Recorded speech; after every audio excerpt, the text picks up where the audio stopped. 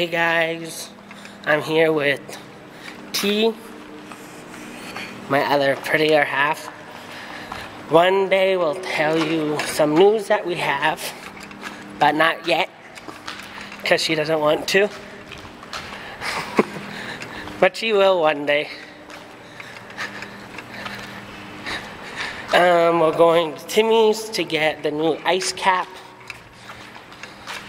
and Go Flames Go. We have to win it. Oh, you can't really see. Go Flames Go right there. Oh. So, yeah. Eddie, if you're watching this in doggy heaven or heaven, hopefully you like it. I'm doing this for us, for the subscribers and all that. For the 10 million. And yeah, peace. Love ya.